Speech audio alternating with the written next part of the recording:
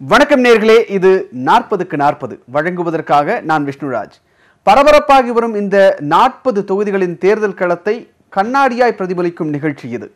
இன்று நாம் பார்க்க போகும் தொகுதி தமிழகத்தின் வடகோடியில் உள்ள தருமபுரி. வரலாற்று சிறப்பு வாய்ந்த இந்த தொகுதி பற்றிய அறிமுகம் இதோ. கடையேழு வள்ளல்களில் ஒருவரான அதியமான் ஆண்ட தகடூரே தருமபுரியானதாக கூறப்படுகிறது. எல்லையை ஒட்டி தொகுதி என்பதால் தமிழோடு கன்னடமும் தெலுங்கும் மக்களால் பேசப்படுகிறது. சேலம் மாவட்டத்திலிருந்து கடந்த ஆயிரத்தி தொள்ளாயிரத்தி அறுபத்தி ஐந்தாம் ஆண்டு பிரிக்கப்பட்டு தனி மாவட்டமானது தருமபுரி. கல்வியில் பின்தங்கிய இந்த மாவட்டம் மிகவும் வறட்சியான பகுதி. எழுபது விழுக்காடு மக்களின் பிரதான தொழில் விவசாயம்தான். தொகுதியின் பல பகுதிகள் வானம் பார்த்த பூமி கம்பு சோளம் கேழ்வரகு திணை குதிரைவாலி சாமை என்று சிறு தானியங்கள் அதிகம் விளைகிறது. பாப்பிரெட்டிப்பட்டி தருமபுரி பெண்ணாகரம் பகுதிகளில் விளையும் புலிக்கு தனி மவுசு உண்டு என்பதால் ஏற்றுமதியும் செய்யப்படுகிறது. கர்நாடகாவில் பிறந்தோடி வரும் காவிரி ஒகேனக்கல் வழியாக தமிழகத்திற்குள் கால் வைக்கிறார். ஒகேனக்கல் அருவி பகுதியில் எண்ணெய் குளியலும் பரிசல் பயணமும் இனிமையானவை. தீர்த்தமலை கோவிலும் வாணியாறு அணையும் முக்கியமான சுற்றுலா தலங்கள். தருமபுரி மக்களவைத் தொகுதியில் பாலக்கோடு பெண்ணாகரம் தருமபுரி பாப்பிரெட்டிப்பட்டி அரூர் மேட்டூர் என்று ஆறு சட்டமன்ற தொகுதிகள் உள்ளன. இதில் பாலக்கோடு மேட்டூர் தொகுதிகளை அதிமுக வைத்துள்ளது. பெண்ணாகரம் தருமபுரி தொகுதிகளில் திமுக எம்எல்ஏக்கள் உள்ளனர். பாப்பிரெட்டிப்பட்டி அரூர் எம்எல்ஏக்கள் தகுதி நீக்கம் செய்யப்பட்டதால் அவற்றுக்கு இடைத்தேர்தல் நடைபெறவுள்ளது. பதினான்கு லட்சத்து அறுபத்தி ஏழாயிரத்து தொள்ளாயிரத்து நான்கு பேர் தருமபுரி மக்களவைத் தொகுதியில் வாக்களிக்க உள்ளனர். நாட்டின் முதல் தேர்தலில் இந்த தொகுதி இருந்தபோதும் அதன் பின் கலைக்கப்பட்டது. ஆயிரத்தி தொள்ளாயிரத்தி எழுபத்தி ஏழாம் ஆண்டு தருமபுரி தொகுதி மீண்டும் உருவாக்கப்பட்ட போது காங்கிரசின் வாழப்பாடி ராமமூர்த்தி வென்றார். பின்பு திமுகவின் கைக்கு சென்றது.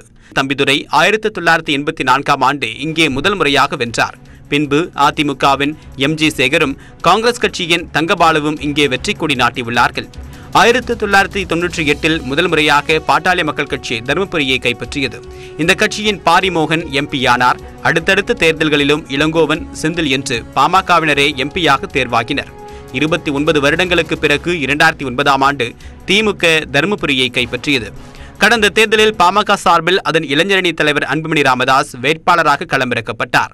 திமுக சார்பில் அப்போதைய எம்பி தாமரை செல்வனே போட்டியிட்டார். அதிமுக சார்பில் களம் கண்டவர் பி எஸ் மோகன். காங்கிரஸ் சார்பில் வாழப்பாடி ராமமூர்த்தியின் மகன் ராமசுகந்தன் வேட்பாளராக அறிவிக்கப்பட்டார். தேர்தல் முடிவுகள் வெளியான போது பாமக வேட்பாளர் அன்புமணி நான்கு லட்சத்து அறுபத்தி எட்டாயிரத்து நூற்று தொன்னூற்று நான்கு வாக்குகள் பெற்று வெற்றி பெற்றார். அதிமுக வேட்பாளர் மோகன் எழுபத்தி ஏழாயிரத்து நூற்று நாற்பத்தி ஆறு வாக்கில் வித்தியாசத்தில் தோற்றார் திமுகவும் காங்கிரசும் முறையே மூன்றாம் நான்காம் இடத்தை பிடித்தன. விவசாயத்தை பிரதானமாக கொண்ட தருமபுரி மாவட்டத்தில் நீர்நிலைகள் வறண்டு போய் மக்கள் வறட்சியின் பிடியில் சிக்குவது வாடிக்கை. இந்த வருடமும் அதற்கு விதிவிலக்கல்ல. குடிநீர் பிரச்சனை ஒருபுறம் வேலைவாய்ப்பின்மை மறுபுறம் என தருமபுரி தொகுதியின் இன்றைய நிலையை படம் பிடித்து காட்டுகிறார் நமது செய்தியாளர் நந்தா. பஞ்சப்பள்ளி வாணியாறு நாகாவதி ஈச்சம்பாடி தொப்பையாறு கேசரகுழி வள்ளிமதுரை மேட்டூர் இப்படி ஒன்பது அணைகள் இந்த நாடாளுமன்ற தொகுதியில் இருக்குது இதில் மேட்டூர் நிர்வாக ரீதியாக சேலம் மாவட்டத்தை சேர்ந்தது. அது மட்டும் இல்லாமல் இரநூத்தி ஐம்பத்தி ஆறு ஏரிகள் இதில் எழுபத்தி ஆறு ஏரிகள் பொதுப்பணித்துறையினுடைய கட்டுப்பாட்டில் இருக்குது இந்த அணைகள் மற்றும் ஏரிகளினுடைய நிலையை வைத்து தான் இந்த மக்களுடைய வாழ்வாதாரம் கணிக்கப்படுது. இந்த அணைகள் மற்றும் ஏரிகளுடைய தற்போதைய நிலை என்ன? இதனால் இந்த மக்கள் சந்திக்கக்கூடிய பிரச்சனைகள் என்ன என்பதை இப்போ பார்க்கலாம். இந்த ஆண்டு பருவமழை பொய்த்து போய்விட்ட நிலையில் தருமபுரி மாவட்டத்தில் நிலத்தடி நீர்மட்டம் வற்றிப்போய் போய் ஆயிரத்து இருநூறு அடிக்கு ஆழ்துளை கிணறுகள் அமைத்தாலும் தண்ணீர் கிடைப்பதில்லை. இதனால் போதிய தண்ணீர் வசதி இல்லாத காரணத்தால் கால்நடைகளுக்கு தீவன தட்டுப்பாடு அதிகமாக உள்ளது. மேய்ச்சல் நிலம் இல்லாததால் இங்குள்ள விவசாயிகள் தங்கள் கால்நடைகளை அஞ்செட்டி திருவண்ணாமலைக்கு அழைத்து செல்கின்றனர். காவிரியில் ஓடக்கூடிய உபரி நீரை தருமபுரி மாவட்டத்திற்கு பம்பிங் மூலமாக அனைத்து ஏரிகளுக்கும் கொண்டு செல்வதற்கான வாய்ப்புகளை அரசு ஏற்படுத்தணும். அதே போல் வறட்சி நிவாரண பணிகள் வைக்கோல் உடனடியாக கால்நடைகளுக்கு கொடுக்கணும். வைக்கோல் இல்லாதனால் கால்நடைகள் அடிமட்ட விலைக்கு கால்நடைகள் எல்லாம் இன்றைக்கி விற்று கொண்டு இருக்கிறார்கள் கடுமையான பாதிப்பு ஏற்பட்டிருக்கு தண்ணியில் மேவு இல்லை. நார்த்த மட்டிக்கு ஓட்டிருக்குதுங்க அங்கங்கே மே மேவு கிடைக்கிற இடத்துக்கு ஓட்டிகிட்டு போய் தண்ணி இல்லாத மேய்ச்சிட்டு வரோங்க. என்ன மாடு வச்சுக்கிறீங்க? நாட்டு மாடு. எவ்வளோ இருக்குங்க? இங்கே ஒரு எண்பது கால்நடை இருக்கும். இது திருவண்ணாமலை வரைக்கும் மேய்ச்சத்துக்கெலாம் கூட்டு போகிறாங்களா ஆ போகிறவங்க போகிறாங்க நாங்கள் போகிறதில்ல பில்லு கில்லு வாங்கி போட்டு இப்படி மோட்டருங்க இருக்கிறவங்க கிட்ட இது பண்ணிட்டு இருக்கிறோங்க. வறட்சியால் பல விவசாயிகளும் படித்த இளைஞர்களும் பிழைப்பு தேடி திருப்பூர் ஓசூர் கோவை பெங்களூரு என்ற நகரங்களுக்கு இடம்பெயர்கின்றனர். பொருளாதார கொள்கையினுடைய தாக்கம் இருக்குது பாருங்க. அதனுடைய விளைவு இங்கே இருக்கக்கூடிய படித்த இளைஞர்கள் எட்டாவது பத்தாவது பன்னிரெண்டாம் வகுப்பு இந்த மாதிரி ஆரம்ப கல்வியிலேயே மிடில் இருக்கக்கூடிய இளைஞர் ப- படித்த இளைஞர்கள் கூட இன்றைக்கி வந்து மேல்நிலை கல்வியை தொடர முடியாமல் வே வேலைவாய்ப்பு இல்லாதனுடைய விளைவாக இன்றைக்கி பார்த்தீங்கன்னாக்கில் ஆயிரக்கணக்கான இளைஞர்கள் வெளியில் ஓடி போயிடும் அதே போல் டிகிரி முடித்திருக்கக்கூடிய நீங்கள் நீங்கள் தருமபுரி மாவட்டத்தில் பார்த்தீங்கன்னா தாலுக்காவுக்கு ஒரு கல்லூரி இருக்கும். ஆனால் அதில் படித்து வெளியே வரக்கூடிய இளைஞர்களுக்கு எந்த விதமான வேலை வாய்ப்புக்கும் உத்தரவாதம் இல்லாத சூழ்நிலையில் தான் நீங்கள் பார்த்தீங்கன்னாக்கில் நீங்கள் பெங்களூரில் ஒரு பெரும்பகுதி இளைஞர்கள் எங்கே இருக்கிறாங்க. உள்ளூரை விட்டு கிளம்பிச் செல்ல முடியாத படித்த இளைஞர்களுக்கு கூட வேலைவாய்ப்பை உறுதி செய்ய எந்த நடவடிக்கையையும் அரசியல்வாதிகள் எடுக்கவில்லை என்பது இங்குள்ள மக்களின் புகாராக உள்ளது. என்னுடைய தேர்வு இந்த மக்களுக்காக யார் உழைக்கிறாங்க இந்த மக்களுக்காக அடிப்படை வசதியிலிருந்து கல்வி வேலைவாய்ப்பிலிருந்து அதே மட்டும் இல்லை அது மட்டும் இல்லாமல் இந்த மக்கள் படிச்சிருக்காங்களே இளைஞர்கள். அந்த இளைஞர்களுக்கு ஒவ்வொரு குடும்பத்தில் அரசு வேலை கொடுத்தால் மட்டும்தான் வாக்களிக்கணும்னு மக்களே தீர்மானம் பண்ணணும். ஸோ அப்படி தீர்மானம் பண்ணால் தான் மக்களுடைய வாழ்வாதாரம் அவங்களுடைய பயன்பெறும் பயன்பெறும் வகையிலும் இருக்கும். காவிரி மற்றும் தென்பெண்ணை ஆறுகள் வழியாக கால்வாய்கள் வெட்டி இந்த தொகுதியில் உள்ள ஏரிகளில் நீர் நிரப்ப வேண்டும் என்பது இங்குள்ள மக்களின் வேண்டுகோளாக உள்ளது. இந்த பாராளுமன்ற தேர்தல் நிகழக்கூடிய இந்த நேரத்தில் கடுமையான பஞ்சத்திலே வாழ்ந்து கொண்டிருக்கிற மக்களுடைய வாழ்வாதாரத்தை சீரடைய சீர்படுத்த வேண்டும் என்று சொன்னால் அடிப்படையிலே நீர்வளம் பெருக வேண்டும். அதற்குரிய நடவடிக்கையை அரசு எடுக்க வேண்டும். இதுதான் தமிழக இந்த தருமபுரி மாவட்டத்தில் விவசாயிகளுடைய பெரிய கோரிக்கை. இந்த மாவட்டத்தில் மிகப்பெரிய பிரச்சனையாக உள்ளவற்றில் குடிநீர் பிரச்சினை மிக முக்கிய பங்கு வகிக்கிறது. பல இடங்களில் மின்சாரமும் சரியாக இல்லை என்பது இங்குள்ள மக்களின் குமுறலாக உள்ளது. காவிரி படுகையில் உள்ள நயகரா என்று அழைக்கப்படும் ஒகேனக்கல் இந்த மாவட்டத்தின் வழியாக சென்றாலும் குடிநீருக்காக தவிக்கின்றனர் அந்த பகுதி மக்கள். மேட்டூர் அருகே உள்ள நாகமரை ஏரியூர் பன்னவாடி கொளத்தூர் கிராம மக்களுக்கு தண்ணீர் பிரச்சினை இன்றும் பெரும் பிரச்சினைதான். கூட்டு குடிநீர் திட்டம் பைப் போட்டு ரெண்டு வருஷம் ஆகுது. ஆனால் தண்ணியே வரல. எல்லா மாவட்டத்துக்கும் எங்கள் ஊர்லேருந்து போகுது. ஆனால் இந்த ஊரில் இருக்கிற தண்ணி எங்களுக்கு தண்ணி கிடைக்கிறதில்ல. உப்பு தண்ணி தான் குடிச்சிட்டு இருக்கோம் ரெண்டு வருஷமாக குழந்தைங்களுக்கு எல்லாத்துக்குமே. ஓ, நல்ல தண்ணியே கிடைக்கிறதில்ல. கூட்டு குடிநீர் திட்டம் தண்ணி கொடி- கிடைக்கிறதில்ல எங்களுக்கு.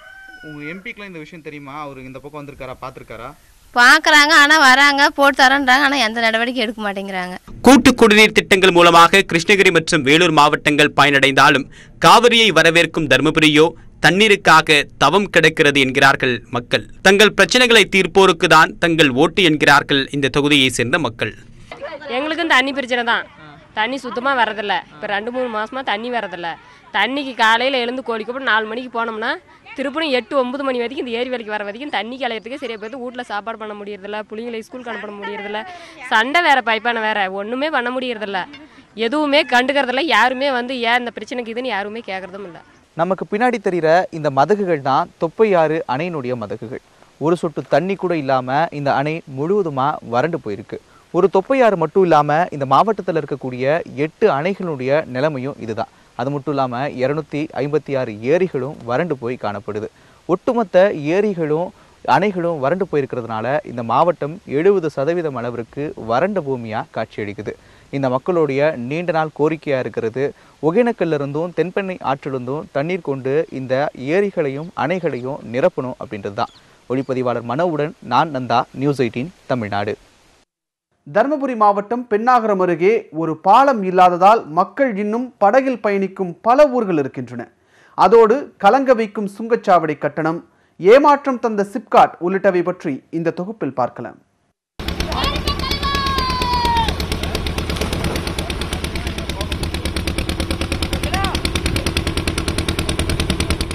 இப்போ நாம நாகமரையிலிருந்து காவிரி ஆற்றில் படகு மூலியமா பயணம் பண்ணிட்டு இருக்கோம்.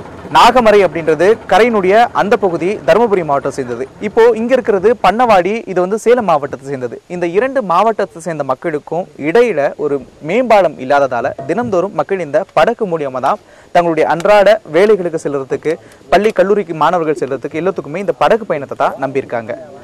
பெண்ணாகரம் அருகே நாகமரை பண்ணவாடியை இணைக்கும் பாலம் தேவை என்பது இங்குள்ள மக்களின் கோரிக்கையாக உள்ளது. ஆங்கிலேயர் காலத்தில் நாமக்கரை குரக்கலையனூர் செம்மேடு கொண்டைனூர் உள்ளிட்ட கிராமங்களைச் சேர்ந்தவர்கள் மேட்டூர் அணை கட்டுவதற்காக ஆற்றங்கரையோரம் குடியமர்த்தப்பட்டனர். ஆற்றின் குறுக்கே பாலம் இல்லாததால் ஏரியூர் நெருப்பூர் உள்ளிட்ட முப்பது கிராம மக்கள் தினந்தோறும் பல்வேறு தேவைகளுக்காக அபாயகரமான ஆற்றை படகில் கடந்து வருகின்றனர்.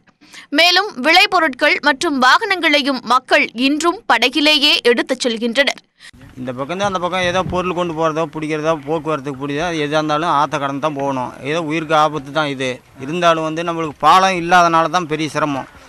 அதனால் வந்து நாங்கள் போ இங்கேருந்து கொண்டு போகிற பொருளோ சரி அங்கேருந்து கொண்டு வந்த பொருளாலும் சரி படகு வழியாக தான் கொண்டுட்டு வரணும். வேறு வழி இல்லை. இந்த பக்கம் வரணுன்னா எங்களுக்கு வசதி இல்லைண்ணா. பஸ் வசதி இல்லை. பாலம் அந்த டைமுக்கு போடுறதில்ல. காலையில் ஒரு டைம் மத்தியானம் ஒரு டைம் சாயங்காலம். இப்படி தான் எதுக்கு வந்தாலும் நாங்கள் போட்டு பார்த்து வந்தால் தான் இது தண்ணி நிறைய ஆச்சுன்னா போட்டு போட மாட்டோம் அப்படின்னு சொல்றாங்க. மாணவர்கள் அடிக்கடி ஆற்றை கடக்க முடியாததால் அருகிலுள்ள பள்ளிகளின் விடுதிகளில் தங்கி படிக்க வேண்டிய சூழல் உள்ளது. மழைக்காலங்களில் இந்த கிராம மக்களுக்கு படகு போக்குவரத்தும் நின்றுவிடுவதால் அவர்கள் ஐம்பது கிலோமீட்டர் வரை சுற்றிச் செல்லும் நிலைக்கு தள்ளப்படுகின்றனர். நாங்கள் ஸ்கூலில் ஆற்று தாண்டி தான் படிக்கிறோம். அதனால எங்களுக்கு டெய்லியும் போயிட்டு வர முடியாது. ஹாஸ்டலில் ஹாஸ்டல்லேருந்து படிக்கிறோம். அதனால நாங்கள் எங்களுக்கு வந்து பாலம் கட்டி கொடுத்தா எங்களுக்கு கொஞ்சம் இதாக இதாக இருக்கும். இப்போ டெய்லியும் போயிட்டு போயிட்டு வரத்துக்கு கொஞ்சம் சிம் இதாக இருக்கும் அப்படி. அதனால எங்களுக்கு பாலம் கட்டி கொடுங்க. தொப்பூர் சுங்கச்சாவடி பெயரைச் சொன்னாலே அப்பகுதி மக்கள் சலிப்படைகின்றனர். தோட்டங்களில் விளையும் பொருட்களை சேலத்திற்கு சென்று விற்க முயன்றால் சுங்க கட்டணம் பெரும் தலைவலியாக இருக்கிறது என்கிறார்கள். ஐம்பது கிலோமீட்டருக்குள் இரண்டு சுங்கச்சாவடி உள்ளதால் பாதி பணம் அங்கேயே சென்று விடுகிறது என்பது விவசாயிகளின் குற்றச்சாட்டு.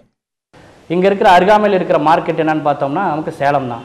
சேலத்துக்கு போகணும்னு சொன்னால் கூட சுங்க கட்டணமாக பார்த்தீங்கன்னா ரெண்டு டோல்கேட் இருக்குது இந்தியாவிலேயே ரொம்ப அதிகமாக வசூல் பண்ணக்கூடிய டோல்கேட் ஒன்று எல்என்டியோடது தொப்பூர் ஒட்டி இருக்குது அதை தாண்டி முப்பது கிலோமீட்டருக்கு இடையில் முப்பது கிலோமீட்டருக்கு உட்பட்டு இன்னொரு டோல்கேட் இருக்குது சேலம். உள்ளூரில் போதிய வேலைவாய்ப்பு இல்லாத நிலையில் படித்த ஆண்கள் வெளியூருக்கு செல்கின்றனர். பெரும்பாலான பெண்களையோ வெளியூருக்கு வேலைக்கு அனுப்ப பெற்றோர் மறுத்து விடுகின்றனர். இதனால் அவர்கள் கனவு திருமணத்துடன் முடக்கப்பட்டு விடுகிறது. எங்களோட டிஸ்ட்ரிக்டில் வந்து எந்த ஒரு கம்பெனியும் இல்லை.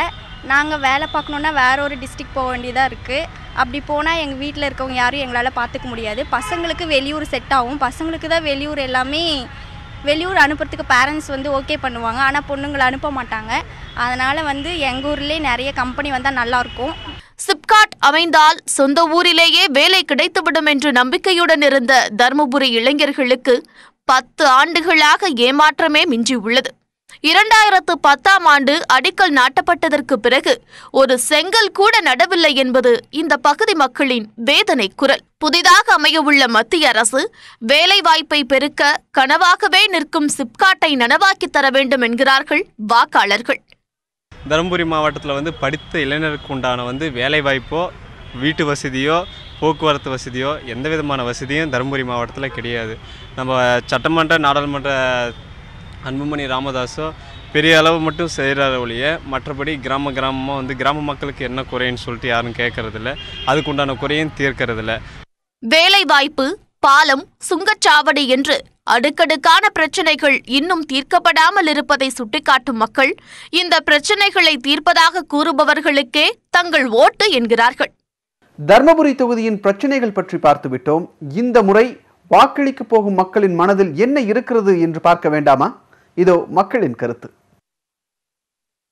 அடுத்து யார் மறுபடியும் பிஎம்ஆ வரணும்னு நினைக்கிறீங்க? பிரதமரா? பிரதமராவா? சோனியா காந்தி கட்சி வரணும்னு நினைக்கிறோம். ஏன் என்ன விஷயம்? என்ன காரணம்? வந்தால் மக்களுக்கு நல்லா இருக்கணும்னு நினைக்கிறோம். நல்லது செய்வாங்கன்னு நினைக்கிறோம். டிஎம்கே ஓட்டு பண்ணணும் பிரதமராக யார் வரணும்னு நினைக்கிறீங்க? ராகுல் காந்தி வரணும் என்ன காரணம்? வந்தாங்கன்னா கொஞ்சம் சலுகை பண்ணுவாங்க தண்ணி கிடைக்கும். எம்பி ஏடிஎம்கே தான். அதாவது பிஎம்கேவுக்கு தான். ஏன்னா ரயில்வே பாலம் அரூர் டு தருமபுரி புதுசாக ரோடு போடுறாங்க. அதனால் பிஎம்கே ஓரளவுக்கு செஞ்சுனுங்கிறாரு மற்ற ஆளுங்களை விட இவர் ஓரளவுக்கு செஞ்சுனுங்கிறாரு புதுசாக இப்போ இவர் வராரா? ராகுல் காந்தி வராரா? அவருக்கு போடலாம். அவருக்கு போட பார்க்கலாம். அவர் இளைஞராக வராரு. அவர் என்ன செய்கிறாருன்னு பார்க்கலாம். எங்களுக்கு நல்ல ஆட்சி வரணும். ஓட்டு போட்டால் காசு வாங்கிட்டு ஓட்டு போட்டால் அவங்கள கேள்வி கேட்க முடியாது. அதனால எங்களுக்கு நாங்கள் காசு வாங்காத ஓட்டு போடுவோம். ஓட்டு போட்டால் தான் அவங்கள கேள்வி கேட்க முடியும். எம்பி நேரில் பார்த்து நிறைய கேள்வி கேட்டுட்டோம். அவர் எதுவுமே செய்யாதனால அவர்கிட்ட நாங்கள் நேரில் பார்த்து எந்த கேள்வி கேட்கணுன்ற எங்களுக்கு அதை அதை பற்றி எங்களுக்கு யோசனையே இல்லாத இருக்குது. ஏன்னா கேட்டு எந்த பிரயோஜனம் கிடையாது இல்லை. அதனால் அவர்கிட்ட கேட்டு என்ன பிரயோஜனம் இருக்குது? நிறைய கேட்டுட்டோம். நிறைய பார்த்துட்டு நிறைய பேருக்கு மனு கொடுத்துட்டு நிறைய கேட்டுட்டோம். இது வரைக்குமே எந்த ஒரு நடவடிக்கையும் எங்களுக்கு கிடைக்கல. போராட்டத்தில் நாங்கள் வந்து சில இளைஞர்கள்லாம் நாங்கள் ஒருங்கிணைச்சு பண்ணலாங்கிறது இப்போயே இருந்தோங்க. ஆனால் அதுக்கு நிறைய வேலையெல்லாம் செய்ய வேண்டியிருக்கிறதுனால இப்போ அதை நாங்கள் வந்து இந்த எலெக்ஷனையே வந்து புறக்கணிக்கிற முடிவில் நாங்கள் இருந்து இருக்கிறோங்க. நான் ஓட்டு ஐடியா வாங்க வாங்கவும் மாட்டேன் அவ்வளோதான் ஓட்டு போட்டால் தான் இது பிரச்சனைன்னு ஓட்டு ஐடியா வாங்குறதில்ல. வரவங்கெல்லாம் சொல்றாங்க நான் இதை பண்றேன் அதை பண்றேன்னு சொல்றாங்க. இதுவரையிலும் யாரும் எதுவும் நிரந்தரமா பண்ணல. இனிமே வந்து இப்ப இருக்கிற பிரச்சனையில எலெக்ஷன் பிரச்சனைல அது யாரை தேர்ந்தெடுக்கிறதுன்றது எங்களுக்கு தெரிய மாட்டேங்குது. புதூர் ஃபுல்லாக நாங்கள் அன்புமணி ராமதாஸ் தான் எங்கள் குடும்பம் ஃபுல்லாக அவங்கள்ட்ட தான் ஓட்டு போடுவோங்க. ஆனால் எங்களுக்கு இது வரைக்கும் நல்லா செஞ்ச மாதிரி எதுவும் தெரியல எங்களுக்கு. இந்த முறை யாருக்கு ஓட்டு போடுவீங்க?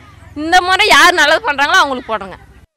அஞ்சு வருஷத்துக்கு முன்னாடி இப்படி தான் சார் மோடி ஆட்சி வரப்ப பிஎம் எலெக்ஷன் இது செ- சென்ட்ரல் கவர்மெண்ட் எலெக்ஷன் வரப்போ சொன்னாங்க.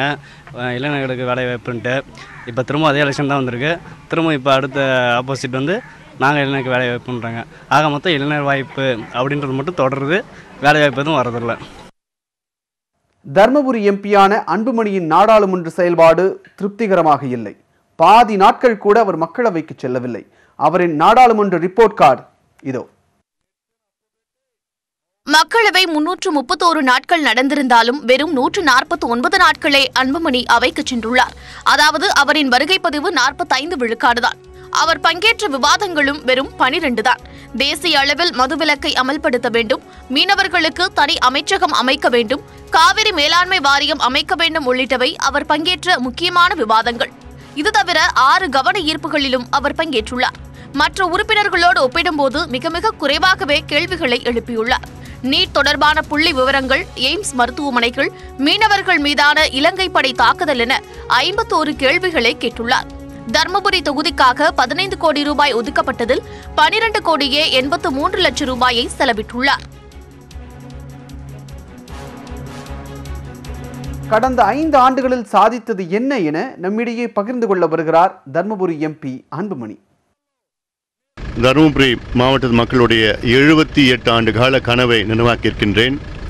மொரப்பூர் தருமபுரி ரயில்வே திட்டத்தை நிறைவேற்றியிருக்கின்றேன்.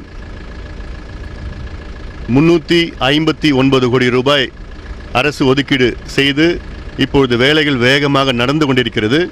இன்னும் ஓராண்டு காலத்திற்குள் இந்த வேலைகள் முடிவடையும். இதற்காக நான் மத்திய ரயில்வே துறை அமைச்சர்களை பத்தொம்போது முறை சந்தித்து வலியுறுத்தி அழுத்தம் கொடுத்து அதன் பிறகுதான் இன்னும் சொல்லப்போனால் கடந்த ஐந்தாண்டு காலத்தில் தமிழ்நாட்டில் எந்த ஒரு புதிய ரயில் திட்டமும் அறிவிக்கப்படவில்லை. ஒரே ஒரு ரயில் திட்டம் இது மொரப்பூர் தருமபுரி ரயில் திட்டம் தான் அந்த அளவுக்கு வலியுறுத்தி இதை நான் இந்த தொகுதி மக்களுக்காக நான் கொண்டு வந்திருக்கின்றேன். இந்த திட்டம் நிறைவேறினால் இந்த மாவட்டம் வளம் பெறும் வளர்ச்சி பெறும் பொருளாதார முன்னேற்றம் கிடைக்கும் வேலைவாய்ப்பு உருவாகும். சென்னையிலேருந்து நேரடியாக தருமபுரிக்கு வரலாம். அது மட்டுமல்ல என்னுடைய முக்கியமான பணிகள் இந்த மாவட்டத்தில் நீர் பாசன திட்டங்கள். அதிலும் குறிப்பாக எண்ணெய்கோல் புதூர் தும்பலி திட்டம் என்ற ஒரு திட்டம் இந்த மாவட்ட மக்களுடைய ஐம்பது ஆண்டு கால கோரிக்கை. ஆறு மாதத்திற்கு முன்பு நான் என் தலைமையில் மூன்று முறை போராட்டம் செய்து முதலமைச்சருடன் பலமுறை வலியுறுத்தி அந்த திட்டத்துக்கு இரநூத்தி எழுபத்தி ஒரு கோடி ரூபாய் ஒதுக்கீடு செய்து இப்போ வேலைகள் நடந்து கொண்டிருக்கிறது. அது மட்டுமல்ல குமார் செட்டி ஏரியிலேருந்து ஜர்தலா ஏரி ஜர்தலா ஏரியிலேருந்து புலிக்கரை ஏரி. இந்த தண்ணி பிறகு நாகாவதி அணைக்கு இதெல்லாம் இதெல்லாம் வந்து பார்த்திங்கன்னா கிட்டத்தட்ட ஒரு தருமபுரி மாவட்டத்தில் ஒரு இருபது விழுக்காடு பகுதிகளை சார்ந்த இந்த நீர் திட்டம் அங்கே போய் சேரும். அது மட்டும் இல்லை கடந்த எட்டு மாதத்திற்கு முன்பு ஒரு இயக்கத்தை தொடங்கினேன். காவிரி உபரி நீர் ஒகேனக்கலிலிருந்து நீரேற்று மூலயமாக தருமபுரி மாவட்டத்தில் அனைத்து ஏரி குளங்களில் நிரப்ப வேண்டும் என்று ஒரு திட்டத்தை நிறைவேற்ற வேண்டும். இதற்கு கிட்டத்தட்ட மூணு டிஎம்சி தண்ணீர் தான் தேவைப்படுகிறது. இதற்கு பத்து லட்சத்தி இருபதாயிரம் பேரிடம் கையெழுத்து வாங்கி முதலமைச்சர் அவர்களை சந்தித்து மூன்று முறை வலியுறுத்தி நேற்றைய முன்தினம் மு- முதலமைச்சர் அவர்கள் இங்கே வரைய தந்த நேரத்திலே இந்த திட்டத்தை அவர் அறிவித்தார்கள். ஒரு ஒன்பது இடத்துல அறிவித்தார்கள். நிச்சயமாக எவ்வளோ பணமாலும் செலவா செலவானாலும் பரவாயில்ல. இந்த திட்டத்தை இந்த மக்களுக்கு நான் கொண்டு வருவேன் நிரந்தர தீர்வு நீர் பிரச்சனைக்கு நிரந்தர தீர்வு இந்த திட்டம். எண்பது விழுக்காடு இந்த மாவட்டத்தில் இந்த திட்டம் போய் சேரும். ஆக மொத்தம் இந்த ரெண்டு திட்டமும் சேர்ந்துச்சுன்னா நூறு விழுக்காடு. இந்த குடிநீர் பிரச்சனை மற்றும் விவசாயத்துக்கு நீர் தேவைகள் அத்துணையும் தீர்க்கின்ற இந்த பிரச்சனை. இதனால் மூன்று லட்சம் இளைஞர்கள் வெளி மாநிலத்துக்கும் வெளி மாவட்டத்துக்கும் போயிருக்கிறாங்க வேலைக்கு. அவங்கெல்லாம் இதில் திரும்பி வருவாங்க. இங்கே இருக்கின்ற பத்து நீர் பாச திட்டங்கள் எண்ணெய்கோல் புது தும்பலி திட்டம் பஞ்சபலி அணை திட்டம் ஜெகநாதன் கோம்பை திட்டம் சேனேகால் திட்டம் ஆனைமடுவு திட்டம் வாணியார் உபரிநீர் திட்டம் தொப்பையார் உபரிநீர் திட்டம் வள்ளி மதுரை அணை திட்டம் புதியன் பொதியன் பள்ளம் திட்டம் இதெல்லாம் இதில் ஐந்து திட்டங்கள் இன்று நிறைவேற்றி கொண்டிருக்கிறார். என என்னுடைய தொடர்ந்து அழுத்தம் மக்களுடைய கருத்து போராட்டங்கள் காரணமாக இதெல்லாம். இப்போ இதுக்கு முன்பு நாம் போராடினோம். ஆனால் இப்போ கூட்டணியில் சேர்ந்திருக்கிறோம். அதனால் இன்னும் இந்த திட்டம் கொண்டு வரதுக்கு ஏதுவாக இருக்கும். தர்மபுரி தொகுதியில் இரண்டாம் முறையாக வெற்றி பெறும் முனைப்பில் களமிறங்கும் பாமக இளைஞரணி தலைவர் அன்புமணி திமுகவின் செந்தில்குமாரை எதிர்கொள்கிறார். அங்கே போட்டியிடும் வேட்பாளர்கள் பற்றிய அறிமுகத்தை தற்போது பார்க்கலாம். ராமதாசன் மகன் பாமக இளைஞரணி தலைவர் முன்னாள் மத்திய அமைச்சர் மருத்துவர் என பல அடையாளங்களை கொண்ட அன்புமணி தர்மபுரியில் அதிமுக கூட்டணி சார்பில் போட்டியிடுகிறார். அவரது மனைவி சௌமியா பசுமை தாயகம் அமைப்பின் நிர்வாகி. இரண்டாயிரத்தி நான்காம் ஆண்டு மாநிலங்களவை உறுப்பினராக தேர்வானார். அப்போது மத்திய சுகாதாரத்துறை அமைச்சராக பதவி வகித்தார் நூற்றி எட்டு அவசர ஊர்தி திட்டம் இவர் அமைச்சராக இருந்தபோதுதான் அறிமுகம் செய்யப்பட்டது. பொது இடத்தில் புகைப்பிடிக்க தடை அமலாக்கப்பட்டதுடன் புகையிலை விற்பனைக்கான கடும் கட்டுப்பாடுகளும் கொண்டுவரப்பட்டன. இரண்டாயிரத்தி பதினான்கு மக்களவைத் தேர்தலில் பாஜக கூட்டணியில் தர்மபுரியில் போட்டியிட்டு வென்று பின்பு கூட்டணியை விட்டு வெளியேறினார். கடந்த சட்டப்பேரவைத் தேர்தலில் தனித்து போட்டியிட்ட பாமக சார்பில் முதலமைச்சர் வேட்பாளராக அறிவிக்கப்பட்டார். ஆனால் இதே தருமபுரியில் உள்ள பென்னாகரம் தொகுதியில் திமுக வேட்பாளர் இன்பசேகரனிடம் தோற்றார். திமுக வேட்பாளரான எஸ். செந்தில்குமார் தருமபுரி மாவட்ட திமுக இளைஞரணி துணை அமைப்பாளராக இருக்கிறார். மருத்துவ படிப்பில் எம்டி முடித்துள்ளார். டிஎன்பி மருத்துவ பரிசோதனை மையத்தை நடத்துகிறார். இவருக்கு சொந்தமாக பள்ளியும் இருசக்கர வாகன விற்பனை நிலையமும் உண்டு. அம்மா மக்கள் முன்னேற்ற கழகத்தின் வேட்பாளர் முன்னாள் அமைச்சர் பழனியப்பன் பாப்பிரெட்டிப்பட்டி வட்டம் மோளையானூர் கிராமத்தைச் சேர்ந்தவர். எம்எஸ்சி தாவரவியல் படித்துள்ளார். தற்போது அமமுக தலைமை நிலைய செயலாளராக இருக்கிறார். இரண்டாயிரத்தி ஒன்றில் மொரப்பூர் தொகுதி சட்டமன்ற உறுப்பினராக தேர்வானார். இரண்டாயிரத்தி பதினொன்றில் பாப்பிரெட்டிப்பட்டி எம்எல்ஏவாக தேர்வான இவர் உயர்கல்வித்துறை அமைச்சராகவும் இருந்தார். கடந்த சட்டமன்ற தேர்விலும் பாப்பிரெட்டிப்பட்டியில் வெற்றி பெற்று எம்எல்ஏ ஆனார். டிடிவி தினகரனுக்கு ஆதரவாக செயல்பட்டதால் தகுதி நீக்கம் செய்யப்பட்டவர் பழனியப்பன். மக்கள் நீதி மைய வேட்பாளராக போட்டியிடும் ராஜசேகர் வழக்கறிஞர். காரிமங்கலம் வட்டம் பந்தரஅள்ளி கிராமத்தைச் சேர்ந்தவர். எம்ஏ எம்ஃபில் பிஎல் பிஹெச்டி பட்டங்களை பெற்றுள்ளார். நாம் தமிழர் கட்சியைச் சேர்ந்த ருக்மணி தேவி வேட்பாளராக அறிவிக்கப்பட்டுள்ளார். கடந்த சட்டமன்ற தேர்தலில் நாம் தமிழர் சார்பில் தருமபுரியில் போட்டியிட்டார். முப்பது வயதான இவர் விவசாயியாக உள்ளார். தர்மபுரி தொகுதி நிலவரம் பற்றி இன்று விரிவாக தெரிந்திருப்பீர்கள். நாளை இதேபோல் தென்காசி தொகுதி குறித்து பார்க்கலாம். விரிவாக பார்க்கலாம். அதுவரை இணைந்திருங்கள். இது நியூஸ் எயிட்டீன் தமிழ்நாடு.